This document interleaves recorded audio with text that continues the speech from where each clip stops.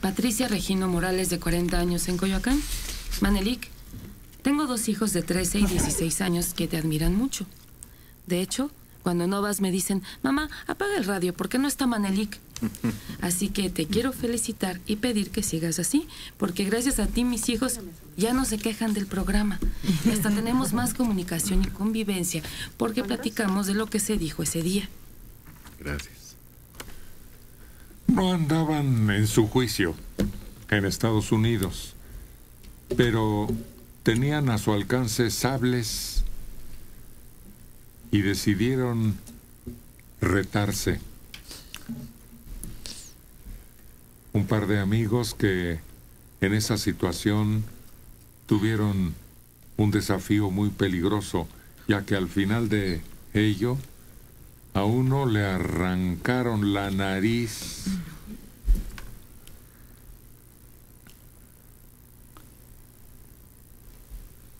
Las cosas se salieron de control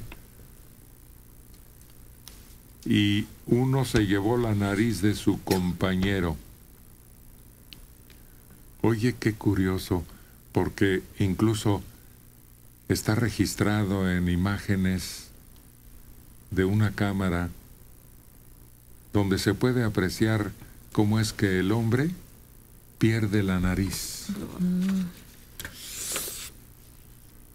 Pues no le fue tan mal, pero de todas maneras. Es que es una práctica muy común últimamente entre jóvenes adultos de cierta edad, de, debido a estos juegos medio medievales, y lo que hacen es practican, pero yo he visto que practican de vez en cuando en los parques, pero con espadas de madera y escudos de madera. Y entonces es una manera en la que se ejercitan y sacan toda su ira. Pero hay quien lo hace con espadas de verdad y han tenido accidentes como estos y hay una infinidad de videos que, bueno, muestran cosas muy sangrientas. Un artesano mexicano, después de los comentarios despectivos hacia México que hizo Donald Trump, algunos gestos, protestas, pero aquí la revancha fue que un artesano mexicano presentó públicamente una piñata que lo representa con su peculiar peinado dorado y boca grande. Y a darle de garrotazos. Una mujer de mediana edad en Valencia, España, devolvió a la policía lo que se encontró en la calle. Era lo que contenía 1.400 euros. Por lo pronto la policía ha destacado la honestidad y solidaridad de la mujer, que devolvió a su propietario esa cantidad que estaba dentro de una cartera.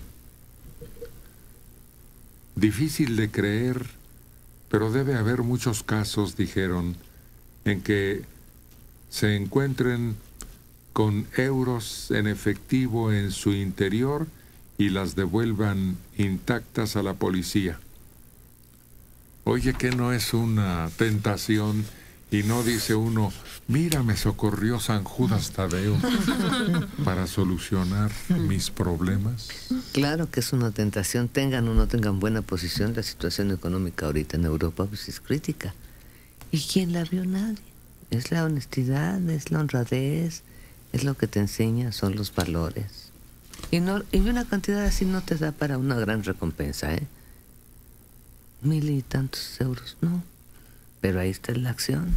Sobre todo cuando un niño se encuentra dinero en efectivo en cualquier forma, hay que hacerle entrar en razón de que buscar al propietario que tal vez iba a dedicar esa cantidad a la compra de una medicina o a solucionar un problema grave como la renta de una casa o la alimentación de una semana en la familia. Enviárselo a un hijo afuera, ayudar a un familiar, para lo que sea, pero la acción es muy bonita. Sí, y es que da mucho gusto encontrar dinero y decir ya tengo un extra. pero están hablando de un país donde la persona dijo, aquí está el dinero. La autoridad dijo, bueno, aquí lo guardamos y lo entregamos a quien sea el dueño. No un lugar como México donde dicen, atrapamos a la... Nos acaba de hablar una persona. Atrapamos al ladrón con el dinero que le robó a su hijo. Pero el dinero se perdió. No. No, pues hay que dejar a, a un lado esa conciencia de rapiña que parece que tenemos todos los mexicanos. Porque sí da mucho gusto, ¿no? Además, luego, luego haces la lista de los problemas que vas a solucionar con la cantidad. Pero fíjate que hay dinero que te sabe y hay dinero que no te sabe. O sea, cuando no es dinero que te ganaste, que te llegó por alguna recompensa, sé que algo que hiciste, no, no te sabe o hasta dicen que no te rinde. Ándale. No, no es dinero que te corresponda y por eso ni siquiera te haces de, de él. O sea, no, no lo atribuyes, no lo asumes como si fuera tuyo. ¿Cuántos años? Yo recuerdo ¿De dónde vagamente llama? que Tarzán, el hombre mono, viaja con sus padres en una aeronave que cae en la selva y mueren todos y el niño sobrevive y una changa lo adopta como bebé. Sí. Sí, como estaba tan pequeñito, lo, Sí. lo cuida, lo protege, como si fuera uno de sus cachorritos. Pues así se desarrolla más o menos el principio de esta historia de tanto éxito. Bueno, acaba de ocurrir otro milagro en la selva. En una selva muy tupida en Colombia, una madre y su hijo, un bebé de un año, sobrevivieron a un accidente de aviación y pasaron cinco días en plena jungla. Bebé de un año, hallados prácticamente ilesos por los equipos de rescate. El avión cayó en una zona selvática y pasaron cinco días en medio de la jungla. El avión cayó el pasado sábado en una localidad de gran atractivo turístico a orillas del Océano Pacífico. Encontraron a los sobrevivientes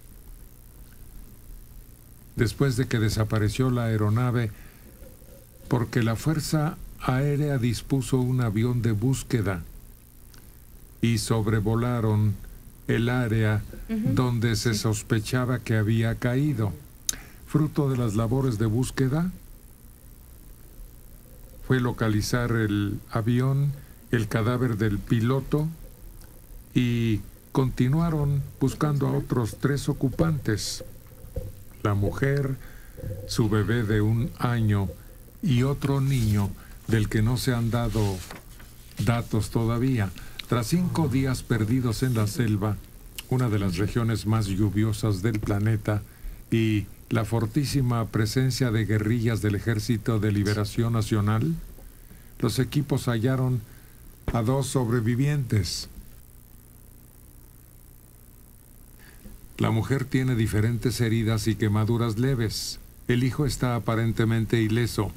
Tras la odisea de cinco días en las agrestes selvas, madre e hijo fueron trasladados a atención médica.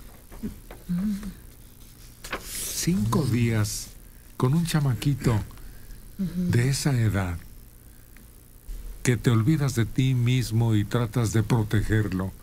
Y la agresión no solo de moscos, de alimañas y de animales que puedan costarles la vida. Temperatura extrema, hay que recordar que en muchos accidentes lo primero que se pierde son los zapatos. Y caminar o mantenerse despierta, activa para evitar cualquier mordedura, piquete o ataque, pues no es nada agradable.